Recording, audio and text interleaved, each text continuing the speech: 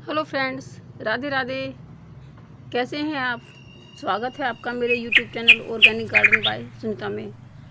आज मैं, आज एक ऐसे पौधे के बारे में बताती हूँ जो औषधि गुणों से भरपूर है और पथरी के लिए तो रामबाण है. बाकी इसको कई नामों से जानते हैं. पत्थर चटा भी बोलते हैं. लोग बाग इसको दर्द मार भी बोलते हैं. और आयुर्वेदिक पौधा भी नर्सरी में लोगे तो आयुर्वेदिक पौधों की गिनती में भी इसको रखा जाता है. और ये बहुत ही आसानी से ग्रो हो जाता है। सबसे बड़ी बात तो यही है इसकी कि आप इसको कैसे भी ग्रो कर सकते हैं। कटिंग से इसके एक पत्ते से भी आप सैकड़ों पत्ते पैदा कर, पौधे पैदा कर सकते हैं। तो इसको लगाने की तो बात यह है, बहुत आसान है। और सबसे बड़ी बात है, ये खूबसूरत इतना लगता है, ये मैं दिखाती हूँ आपको। ये एक गमले में लगा हुआ है, देखो, कितना ज़्यादा घना है। आराम से आप इसको लगा सकते हैं।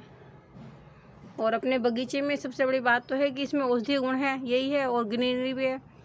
इसको ना तो ज़्यादा पानी की ज़रूरत है, ना किसी खाद की है। ये बहुत आराम से ग्रो हो जाता है और खूबसूरत भी बहुत ज़्यादा लगता है, जैसा कि आप देख ही रहे होंगे कितना हरा भरा है।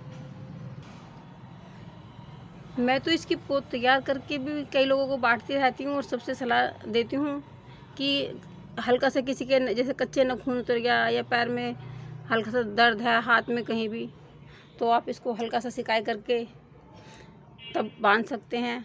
बहुत जल्दी आराम मिलता है। और पत्थर के लिए तो खाली पेट इसको चबा लीजिएगा तो आठ दस दिन में ही काफ़ी आराम मिल जाता है। तो है ना गुणों से भरपूर और बहुत सारे गुण हैं।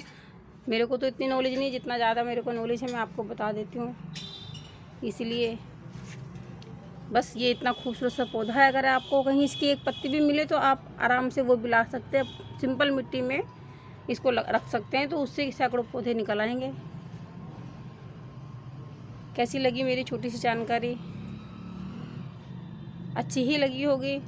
अच्छी लगी है तो कृपया शेयर और लाइक करिएगा और चैनल को आगे बढ़ाते रहिएगा।